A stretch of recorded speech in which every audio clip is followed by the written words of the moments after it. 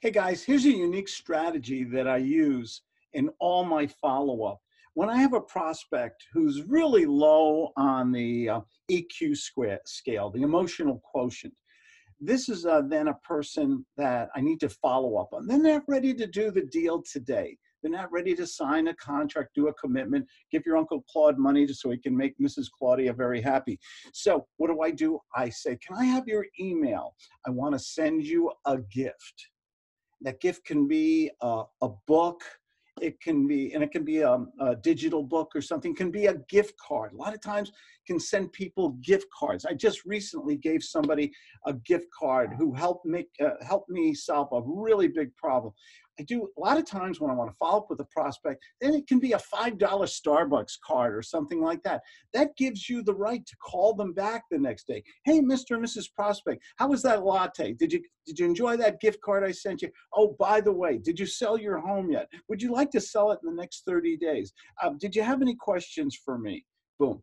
It, it gives you the right to go back in the conversation with them. What happens when you speak to people more than once? You become familiar. The more they know you, the more they get to find out what a really good person, what a professional you are, what an ethical, honest, hardworking person, investor or realtor or whatever you do how hard you are. They don't know anything about your character or personality. You're a stranger.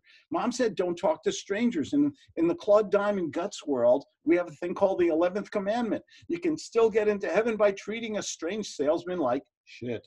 Okay? So what you want to do is become familiar. Send up, listen, Mr. and Mrs. Prospect, I know we're not going to do business today, but um, I just want to share, I, I, I, really enjoyed our conversation. You were so honest and straightforward with me. I'd like to send you a little gift. Is that all right?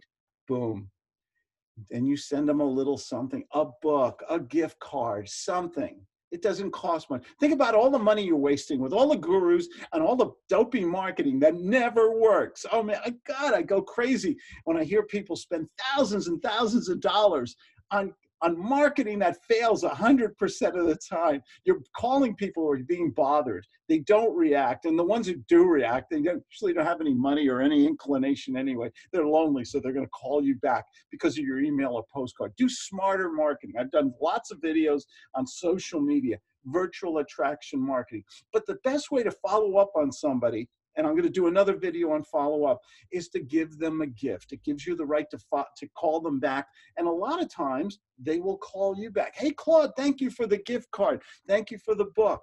Really enjoyed it. Oh, well, good. Um, now, as long as we're on the phone, how did you make out? You must have sold that home by now. Boom. You're back in the pro- you're back in the conversation. You're gaining trust and respect, familiarity, rapport. I don't care what you call it. The more people you speak with, the more really good quality conversations. You only need a few. These people who go to me, oh, Claude, I made five of my auto dialer. I made 500 phone calls today. Yes, but they were all garbage calls. When you want two or three really good calls, that's all you need quality phone calls because you're a good gut salesman, aren't you? And nobody, Nobody deserves success more than you. My name is Claude Diamond. I do answer my own phone, 970-281-5151, or go to my webpage, claudediamond.com. And you guys have a great day. Thanks for joining me. Bye-bye.